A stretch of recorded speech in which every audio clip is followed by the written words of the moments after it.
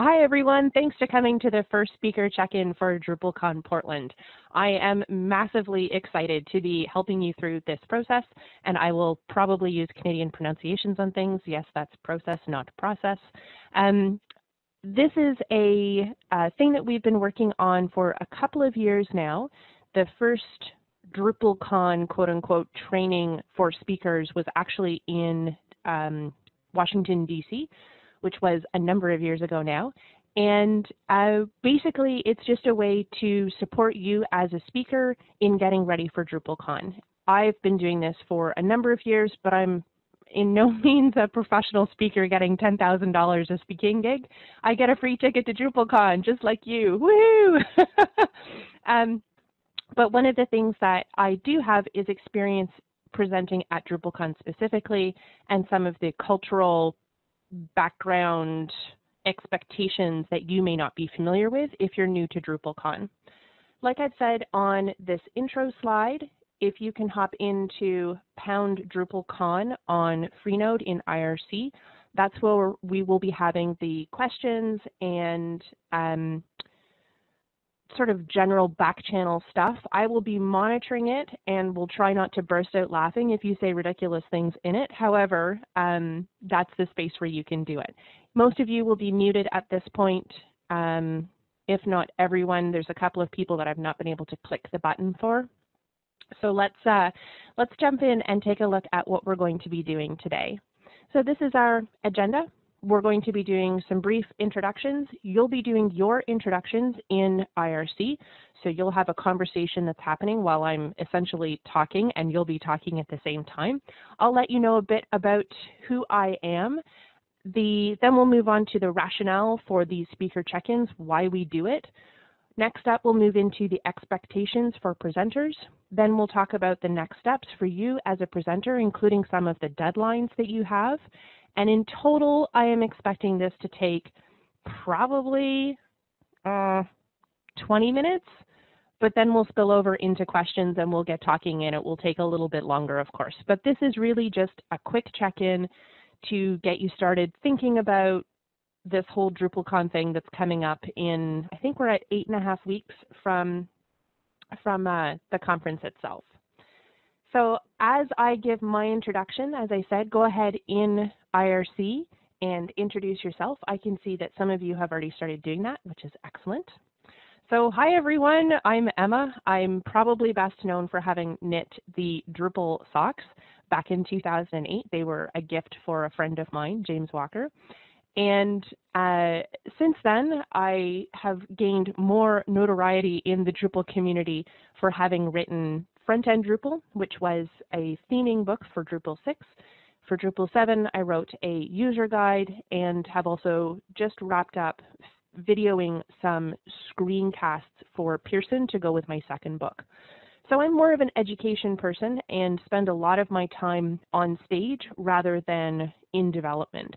One of the things that I love about doing the speaker check-in is I am a complete presentation nerd. Um, I love talking about presentations and storylines and how to fit things together in ways that probably border on unhealthy in terms of how exciting I find it. But then there's other people who find their topic just as exciting. So we'll just um, we'll we'll benefit from each other's level of excitement on this one. So I'm going to give you um, we're at 11:05 local time for me. I'm going to give you another three minutes in IRC to go ahead and introduce yourselves and just get a hang of this format because it is our first time together as well. So I'll sort of quiet down here for a couple of minutes and participate over in IRC. If you're watching the recording, you'll be able to skip ahead and you'll know it's time to uh, tune back in when the slide changes. Okay, so I've got one question coming in via email. And uh, so some folks are new to IRC, which is great. And I think you'll be able to hear me as I walk you through this. If we go to drupal.org slash, and I believe it's IRC, yeah. Here's the instructions that we'll need here. So I'm just going to put it as text onto the top of this slide. My font color no, it's not going to work. I make that red, can you see drupal.org slash IRC? And that will have the instructions on how to get connected to IRC and then the channel that you want to be logged into. So you're going to be logging into Freenode and then the channel itself is pound DrupalCon or hash depending on what your region is. So number sign DrupalCon, all one word, is the IRC channel. Let me know in either the WebEx chat or email or Skype or whatever it happens to be that you have been able to get into IRC if you couldn't previously. Um, and I'll scan the names as well just to see that people have gotten in who've pinged me directly. All right. So I think everyone is sort of tumbling into IRC now, which is fantastic. I'm seeing a few folks who weren't quite sure where they were supposed to connect now showing up in IRC. Again, uh, send me an email if you are still having problems with it. And this session is kind of about getting sorted out and figured out. So it's okay. Don't feel that you're wasting anyone's time or anything like that. That's what this is all about is getting immersed in the culture of Drupal um, as you prepare for DrupalCon. And move on to the next slide. Here we go. So the the whole point of this is for the conference to actually support you in the preparation of your presentation. And one of the things that we've uh, refined over the years is making sure that you get information about who you're going to be presenting to and what is to be expected if you're presenting at a very large conference for the first time. I think most people who are now accepted to DrupalCon as a speaker do have speaking experience. Can you let me know in either IRC or the WebEx chat if you've never spoken at a conference before? My guess is that most of you do have speaking experience though. Right. So um, I would consider local meetups to be a um, an equivalent. So you've you've done a little bit of speaking in front of an audience at least. The third session that we do is going to be on what actually happens in terms of the audience. And just to prepare you, we are breaking records with ticket sales for this conference. We've already sold over a thousand tickets to this conference. Um, probably the biggest audience that I have presented to at a DrupalCon had about 600 people in the room. This scares a lot of people, but I like to think of it as just being really, really efficient because there's a lot of people who want your message and they're just all showing up at the same place at the same time. So instead of you having to stand there and say the same thing over and over and over and over and over again, this is just this is super supportive audience if they heckle, it's because they love you, not because they hate you. Um, it'll be easier than working in a Drupal issue queue. It's going to be a lot of fun, and it's just about efficiency in terms of getting that message out. And ultimately, um, it's it's a little bit scary, but I want to help you with that nerve factor. And I've been doing this for uh, I've been doing it for a long time. I've been doing public speaking stuff for over 20 years. So we are absolutely here to support you. If you have a lot of presentation experience, we are not trying to suggest that we know more than you about public speaking, but we do want to help you in delivering the best possible presentation for your particular style and our DrupalCon audience. And we also respect that there are different kinds of styles of giving presentations. We don't think that there needs to be a cookie cutter approach to what happens on stage, but we do think that there are a, a number of things that make for a good presentation. We do expect from you a lot of effort, and this is, this is maybe a new expectation if you haven't done a big conference before. And by a lot of effort, I mean a little bit every week between now and the conference. We expect, and this is this can be a tricky one in terms of knowing who the audience is and understanding that it's an international audience. but we expect our speakers to respect the audience who shows up and also the audience online who will be watching the recording later on. So one of the things that I have definitely evolved as a speaker over time is my sense of humor. And what what I think is funny for onstage presentations is not nearly as crass as what it used to be. And a lot of that is because of that online, the recording, and people watching things later on. I want everyone to feel like they were a part of what was happening, and I don't want people to feel excluded because of a joke that I had with an audience that was a private joke. I want it to be public fun when I get up there and give a presentation. In terms of the time commitment, I think that for my best presentations, I will have spent on average at least 40, 40 hours preparing that presentation. For you, this means five hours a week between now and DrupalCon. And that doesn't mean five hours in front of a computer. That could be 20 minutes every day in the shower, gives you an hour or more. Or I'm not very good at doing shower math. It depends on how many days a week you shower, I guess. but the point is that you're spending time consistently thinking about what the story is that you're going to deliver on stage. You're not leaving it all to the last minute and, and throwing together some slides. Part of your time and spent preparing includes showing up today. So you get to tick off some time today for having shown up. When the next expectation that we have is that we want to see progress as you get closer to DrupalCon.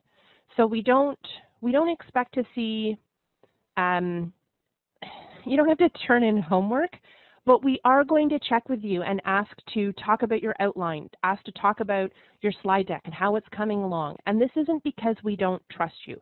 We do trust you, but we also want you to succeed and we want to be able to help you as soon as possible instead of it being how many presenters do we have? Probably 100, maybe more, all needing help in the very last moment. We want that help to be spread out over time. We also expect you to ask questions, and that includes asking questions to one another in IRC.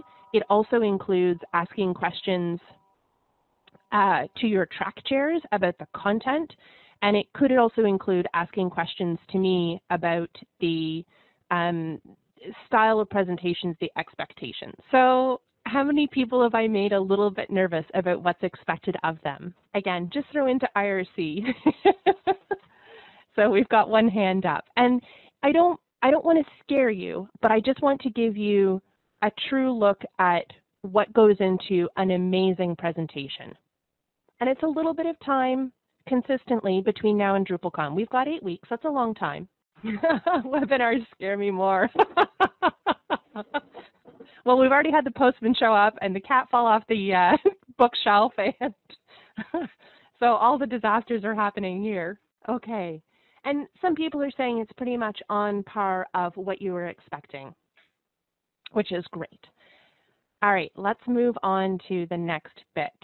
In my opinion, and this is uh, something that is highly, highly controversial, I personally think that great presentations have four parts to them.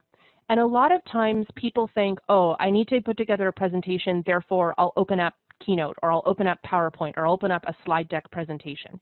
And I think that the slides are, they're not, they're not the primary focus. It's where we tend to start because it's easy to open up software. I mean, we are software people presenting at a software conference. But I think that really there's four parts that need to be considered. First of all, the context. How does your story fit into the Drupal experience? And usually that's pretty obvious from the title and the session description. But it's something that we don't always remember to tell people during our presentations. So one of the things that I do as part of the context part of my presentation is I say to people, this is a beginner talk. If you're an advanced person, you may as well leave now. Go find another session to be part of or go hang out in the hallway track. I want to make sure that the audience knows right up front that this is going to be the perfect presentation for them to be in.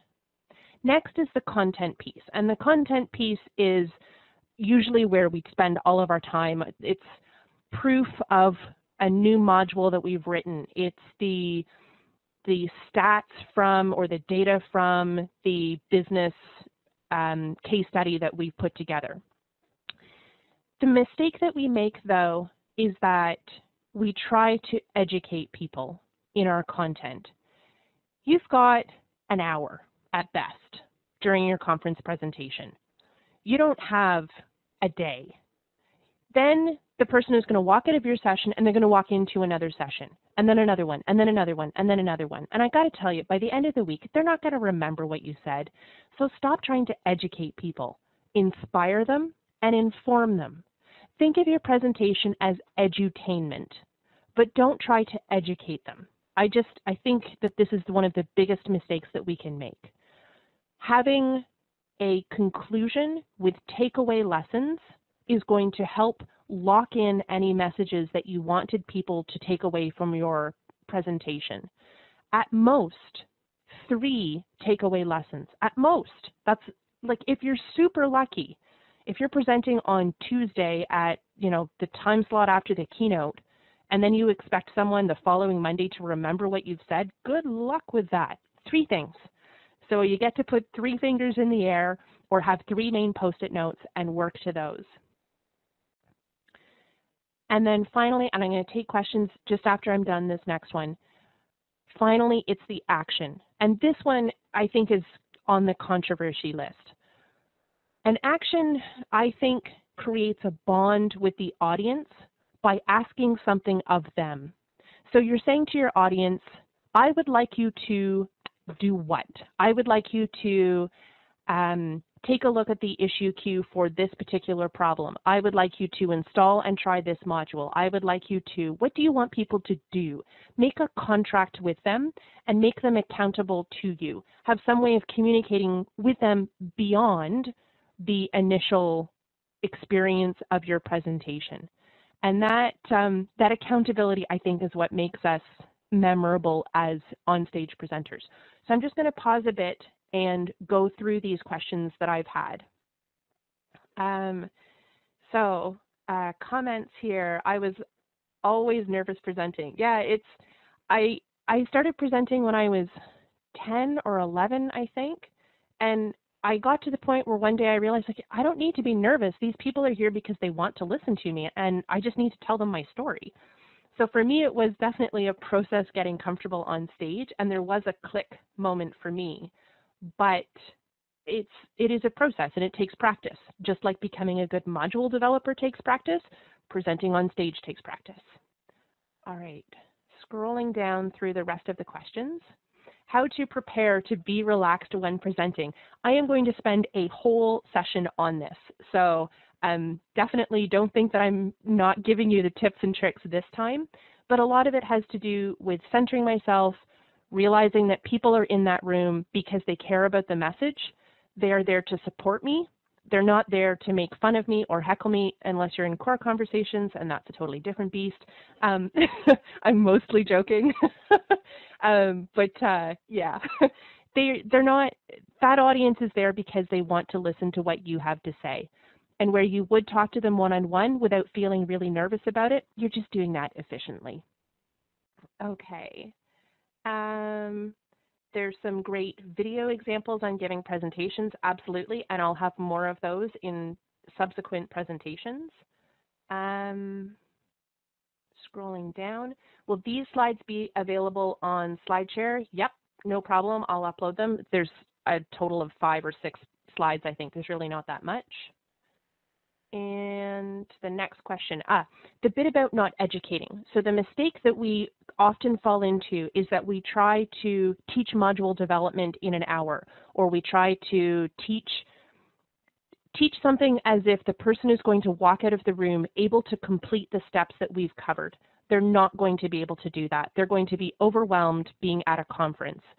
So you can inform them, you can inspire them, and you can provide an educational exposure or experience, but don't try to uh, do a live demo and expect people to follow along. It's just not going to happen in an hour. And in fact, I'll rage out on live demos later on. I, I, there is no love in my heart for live demos at a DrupalCon. It's just not the place for it.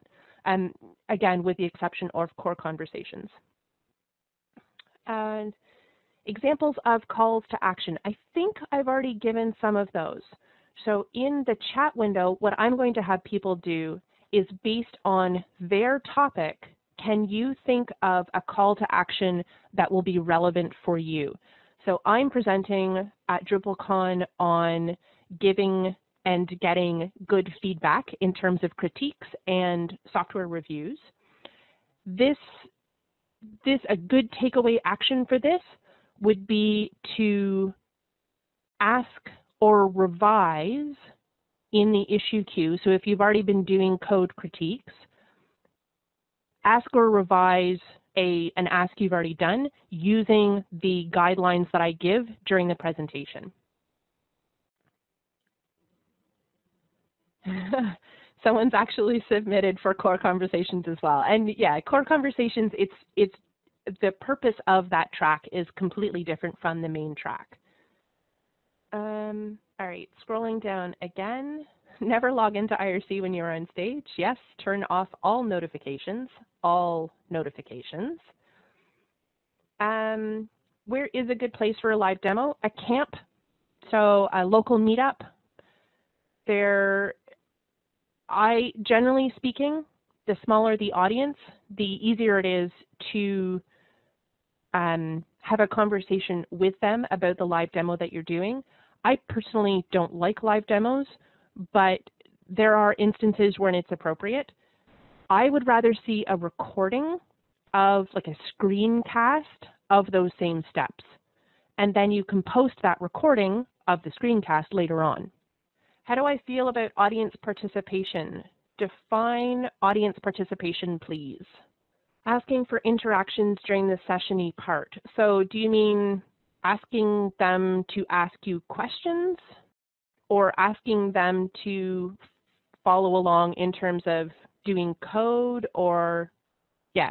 So um, again, this has to do with how many people are in your room. If you've got 600 people in the room, you don't want them all asking you questions. But you could definitely do a poll in terms of like, how many here have how many people here have written a theme before? Put up your hand. How many people here have never been to DrupalCon before? Put up your hand. How many people, that kind of thing.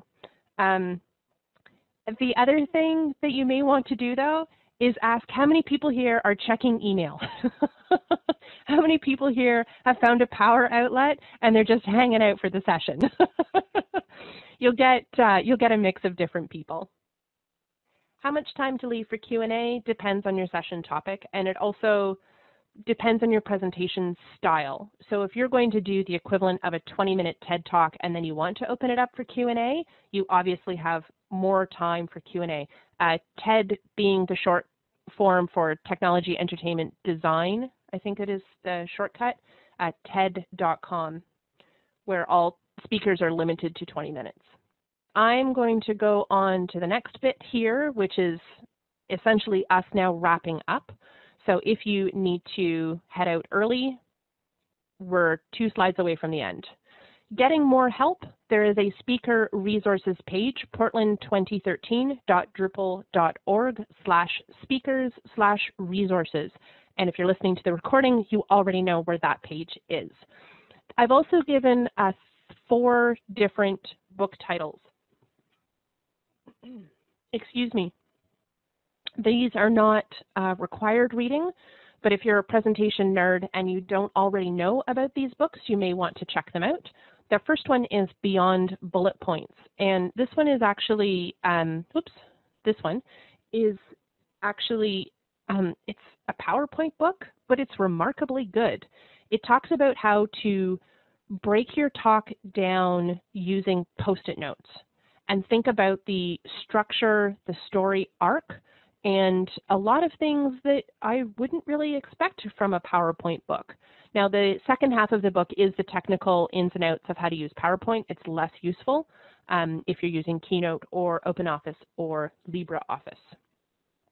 But the, like I said, the first half of it on how to structure your content is platform agnostic. It doesn't care what software you're using.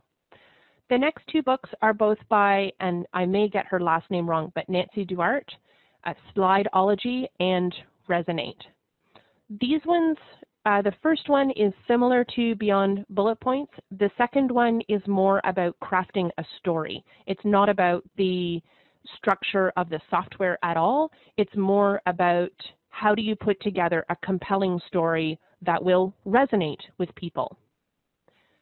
The fourth one on the list, Presentation Zen, is um, again more like Slideology and Beyond Bullet Points, but it's not a software focused book, uh, more a story focused book. In IRC, can you drop in any additional resources that you've really enjoyed referring to or using as someone who's gotten ready for presentations before? And I'll say them back into, as I remove my cat from the desk, there we go, um, as I'll say them back into the uh, recording as well. Confessions of a Public Speaker. Scott Berkun, Confessions of a Public Speaker, for five things every presenter needs to know about. Presentation patterns. I, you know, I didn't love presentation patterns. I had very, very, very high hopes for it though. I, if I'd lowered my expectations, I think I would have enjoyed it more. But presentation patterns, Neal Ford. Yeah, helpful kitty is helpful. Okay, I will paste up these extra resources as part of the slide deck when I do post the slides, and then they'll also be in the recording. So the very last thing that we've got are the important dates that you need to be aware of as speakers. You'll have two different styles of check-ins. One will be with your track chairs, and then one will be with me. The speaker check-ins are more sort of en masse, everyone gets together at the same time and um, blows into a paper bag, drinks some whiskey, whatever it is that we need to do to get ready as presenters. Um, I'm also really happy to review your slide decks because I really like doing that. And I realize that's kind of weird and a little bit voyeuristic of me, but I just, I really like doing it. So if you want to share your slides with me ahead of time, I'd love to review them. Um, these dates are March 22nd, which comes up first. It is your session review with your track chair where you go over the description of your session and basically say, yes, this session still makes sense considering all of the changes that have happened in Drupal. So, you know, sometimes module land changes, right? This session review with your track chair just ensures that your session still makes sense. The next one, and Lorna is saying you are a presentation geek to me. It's true, I am a total nerd. the next one, April 19th. This is the outline and slide review. So by a month from now, yes, well, five weeks from now, we expect you to have a draft of your outline and or your slide deck. We don't expect perfection. At this point, we just expect you to have some idea of how you're going to be spending your time on stage. Then the next check-in, there are there's another track chair check-in, but the next check-in after that is going to be with me, and we'll be going over presentation style and deck tips and tricks, which is actually a bit of a tongue twister. And in the deck tips and tricks and presentation style, we'll talk about um, some of the different ways to present your information. I happen to be using the DrupalCon slide background for this talk. That is not required for you. And in fact, that's uh, like I love the logo, but I don't think that you should have distractors on your slides. And I already took out the slide number and date and the tagline for the conference. So feel free to decorate things as little as possible and focus on your message. So again, that's going to be the April 25th check-in where I rage out about slides and tell you more about different presentation styles that I think can be highly effective for different comfort levels, personality types, and um, there's going to be some sample slides in there as well of things that I think are well done. The video from Munich is already up if you want to get a sneak peek of what happened in the last speaker check-in for this topic. The times for the live meetings will always be at the same time. If you're not available, you can watch the recording later on. As I've said, the check-ins are pretty much the same from conference to conference, so you can go back and watch the Munich slides, or sorry, watch the Munich recordings, and um, you just go to um, munich2012.drupal.org and look at the speaker resources page. Those recordings are already there if you'd like to skip ahead and watch the stuff and then see how closely I how closely I can follow the same presentation outline, which you'll see I never do. That's my last slide for today. So you can drop me an email or stuff um, with the association an email and let us know was that the right information? Was it too long, too short? What else do you want to know about? And uh, I can make sure that it's in the next either speaker check-ins with me or something that your track chair can follow up with. So that's all that I have. Um, we are at 22 the hour. I'm happy to stick around at least for 20 minutes but those of you who are used to IRC, um, I think you'll find that I'm pretty much around a lot and you can ping me whenever you want. I um, will get back to you as soon as I can. I'm not some I've got I, am not always around. Sometimes I just leave IRC on. So do drop me an email to guarantee yourself a response. And thanks so much, everyone, for uh, for showing up today. I, I know everyone is super busy and you're super awesome, which is why you were accepted for DrupalCon. Go you! And um, I'm really looking forward to working with you more. Uh, I will answer the questions that have come up in IRC into the audio, just so that people can, um, who are watching the recording, get a sense of what happened and why, should, why they should come next time. Okay, so Seth asked, could you go through my normal creative process or workflow from a more tactical standpoint? Or do I start in Keynote? Oh, never start in software. No way, because then you completely limit yourself to what the software is going to do. So um, there are about a million different ways to start a presentation. And you have already started your presentation because you wrote an outline that was accepted. So whether you realize it or not, you are well into the creative process of writing your presentation because you've already submitted something. Like you're not actually starting from zero. So where I am at this point is probably the safest way to say it. Um, I don't I don't have a webcam set up, so I can't show you this. I I don't know if you can hear this. I, I have just opened a drawer and in this drawer, I have a whole bunch of index cards. And on these index cards are things that I've been thinking about, which I think need to go into my presentation. So um, some of these things include attention must be paid from Death of a Salesman.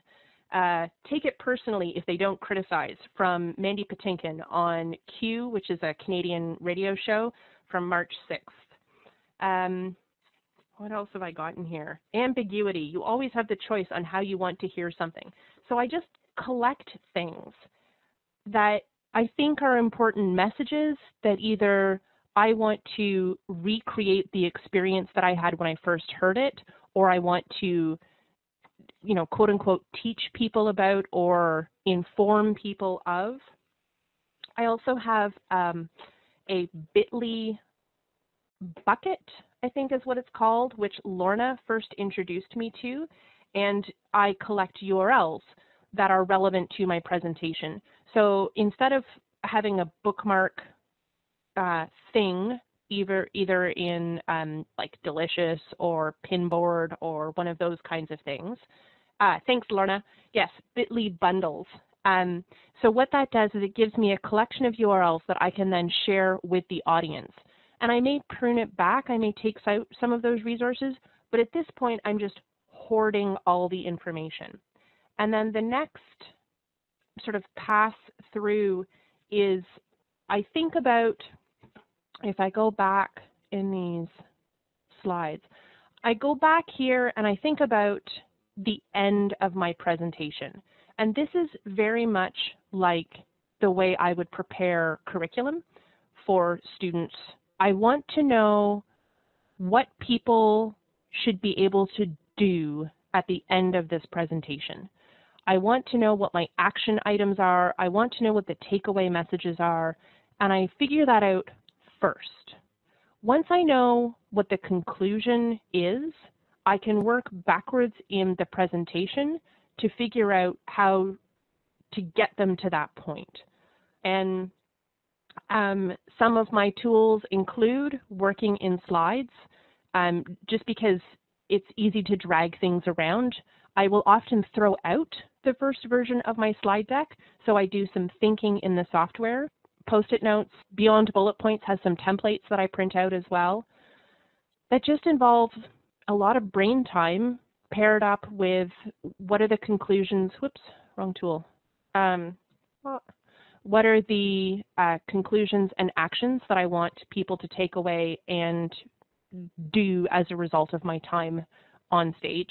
And I do I do see it as a privilege to have this time on stage and I want to make sure that it's not just about me getting up there and raging or ranting or pontificating or I, I want people to feel that it was time well spent, that they don't regret having missed someone else's presentation for for having spent the time with me. Which I guess is a really short way of saying, I don't know, just do stuff. Sorry, Seth. don't spend time trying to teach yourself a new tool just because someone else uses it.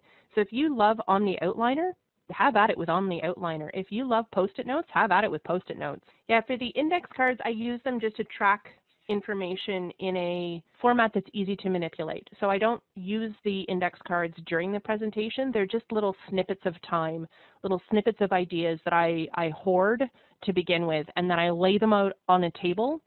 I don't trust digital in a lot of ways.